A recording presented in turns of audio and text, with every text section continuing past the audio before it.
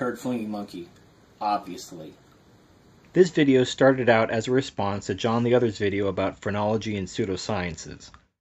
However, I would instead like to address the larger issue about what is science in general and the differences between hard or natural sciences, soft or social sciences, and pseudosciences. Let's begin by defining our terms in order to eliminate confusion up front. Hard or natural sciences are the easiest to understand and explain. According to the Oxford Dictionary, the natural sciences deal with the physical world. Examples include mathematics, physics, chemistry, geology, and biology. Soft or social sciences are again according to the Oxford Dictionary, the scientific study of human society and social relationships. Examples include economics, politics, sociology, archaeology, anthropology, psychology, and yes, that includes evolutionary psychology.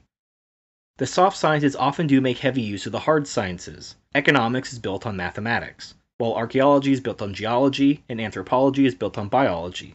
However, not all social sciences are created equal. For example, political science is built on psychology, which is itself a social science, which is built on biology and chemistry. As social sciences are built on other social sciences rather than natural sciences, they become less respected as actual science. A pseudoscience is defined by the Oxford Dictionary as simply a collection of beliefs or practices mistakenly regarded as being based on scientific method. That doesn't really help us much as the definition is rather vague. However, the website yourdictionary.com gives several examples of pseudosciences that I think illustrate the point very well.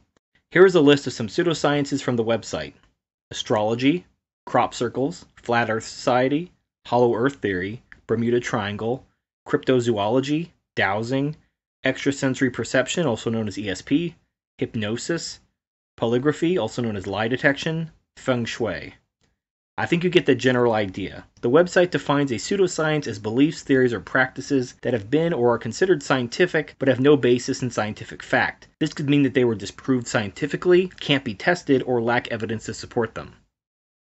So, having these official definitions out of the way, I wish to present a simplified way of looking at the differences between the three. These aren't meant to replace the definitions, just offer a way to distinguish between them easily. A hard or natural science can be readily tested and proven objectively. There is no room for interpretation. A soft or social science may be tested, but the results are not objective, thus leaving room for interpretation. For example, there is only one math.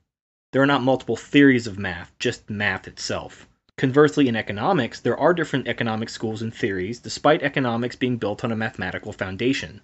Things like political science, which are built on other social sciences rather than natural sciences, are almost entirely based on interpretation. The differences between a soft science and a pseudoscience is unfalsifiability, meaning that there is no test to prove or disprove it. Unlike a soft science, which can be proven to reflect observable reality or not, in pseudoscience, the lack of success or abundance of failure is not proof of anything. For example, just because nobody has ever seen Bigfoot, and every supposed sighting is a proven hoax, doesn't prove there isn't a Bigfoot, right? That's pseudoscience. Now, before looking at evolutionary psychology, we need to talk about evolution. Is evolution a natural or a social science? It actually depends because while we can observe and verify some aspects of evolution, we can't prove other aspects of evolutionary theory. Darwin summarized his theory of evolution by natural selection as a process whereby, quote, more individuals are produced each generation that can survive. Phenotypic variation exists within individuals and variation is heritable. Those individuals with heritable traits better suited to the environment will survive. We can observe, test, and verify that natural selection occurs all around us in biology. So far, so good. But when scientists get into the origin of life, chemical evolution, the Big Bang, etc., we cannot recreate and thus observe, test, and verify these phenomena. The best we can do is use what we know now to make educated guesses about the past, barring any contradictory evidence. This is how anthropology and archaeology work as well. As we do not have a time machine, we can only make educated guesses regarding ancient and extinct cultures based on what we know. Occasionally, a new discovery is made that contradicts the current paradigm, and the paradigm changes in response. As more discoveries are made, the paradigm becomes closer to the presumed truth as new facts disprove alternative theories. However, we will never know for sure because we cannot go back in time and verify what we think we know about the unobservable past. Now that we've established that evolution itself contains elements open to interpretation, and that psychology is itself a social science open to interpretation, we should be cautious when invoking something like evolutionary psychology as a proven scientific fact, because it's not.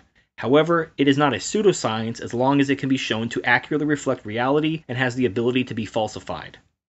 This doesn't mean that evolutionary psychology isn't controversial, all social sciences are controversial because they are open to interpretation. What matters is whether or not it is testable and falsifiable. Let's look at the parts of evolutionary psychology which have been tested, verified, and have yielded success, which is the study of behaviors and traits that occur universally in all cultures and within our animal relatives. According to Walter Koenig of the Encyclopedia Britannica, quote, there have been many careful and informative studies of human social behavior from an evolutionary perspective.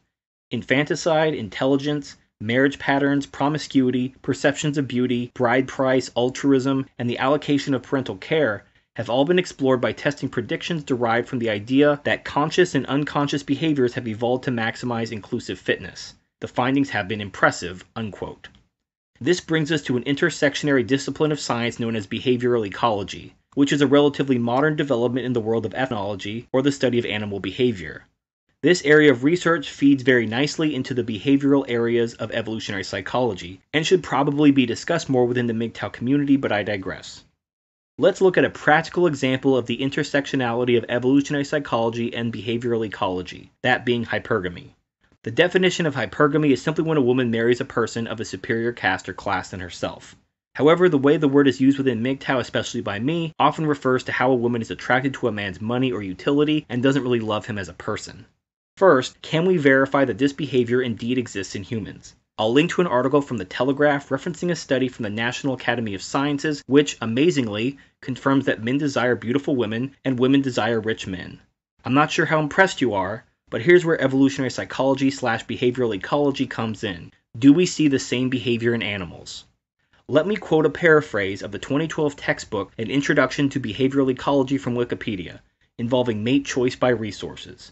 Quote, in many sexually reproducing species, such as mammals, birds, and amphibians, the females are responsible for bearing the offspring for a certain period of time, during which the males are free to mate with other available females, and therefore can father many more offspring, thus continue to pass on their genes.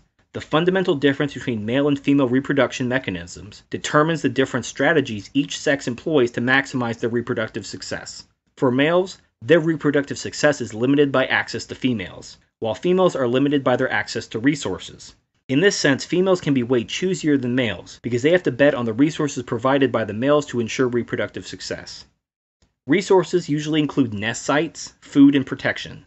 In some cases, the males provide all of them. The females dwell in the chosen male's territories for access to these resources. The males gain ownership of the territories through male male competition that often involves physical aggression. Only the largest and strongest males manage to defend the best quality nest sites. Females choose males by inspecting the quality of different territories or by looking at some male traits that can be indicative of the quality of resources. Sometimes males leave after mating. The only resources that a male provides is a nuptial gift, such as protection or food. The female can evaluate the quality of the protection or food provided by the male so as to decide whether to mate or not or how long she's willing to copulate. Unquote. Did any of that ring a bell or sound vaguely familiar to anyone else? Now, if you want to argue that these behaviors are socially conditioned, caused by Jews, social Marxists, or whatever, why are these behaviors found in so many animals as well? When MGTOW talk about female nature, it goes far beyond the government or legal environment. Governments and laws come and go, but women will always trade sex for resources and utility, which is why I say that all women are gold digging whores and should never be allowed to vote. That will never change unless and until humans somehow transcend their biology using technology and reproduce asexually through cloning or something similar. It is often said that feminism is just female nature personified, and I agree. What is feminism other than women using the government to get men's resources by proxy? Where did women get this desire for men's resources? Was it nature or was it nurture? I would say that the evidence points pretty conclusively to nature, but you're free to disagree. After all, the study of behavior is by definition a social science and thus open to interpretation. You're free to come up with an opposing rationale for this behavior being found throughout humanity and animals as being socially constructed. And I would absolutely love to hear it and see your evidence.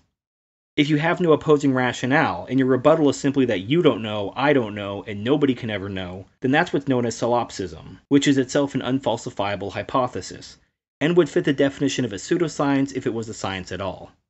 I'm not saying I'm right. I'm just saying that as far as our current knowledge is concerned, I'm as close to the truth as I can possibly be. But if new knowledge is discovered, I will change my views accordingly. That is the essence of science. That is the essence of truth. And truth should be the essence of MGTOW.